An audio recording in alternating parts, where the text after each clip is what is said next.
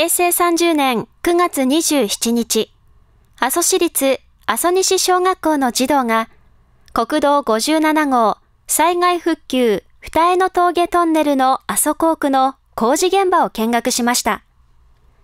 これは工事現場となっている車帰り地区が阿蘇西小工区内にあり、地域で行われている災害復旧工事を学ぶために国土交通省の協力のもと行われたもので、2回に分けて全校児童138人が工事現場に招かれました。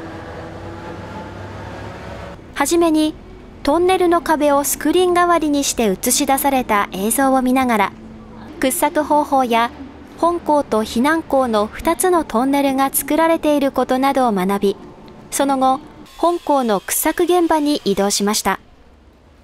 そこでは、掘削した壁面に補強のためのコンクリートを吹き付ける作業が行われていて、24時間休みなくトンネル工事が続けられていることなどが説明されました。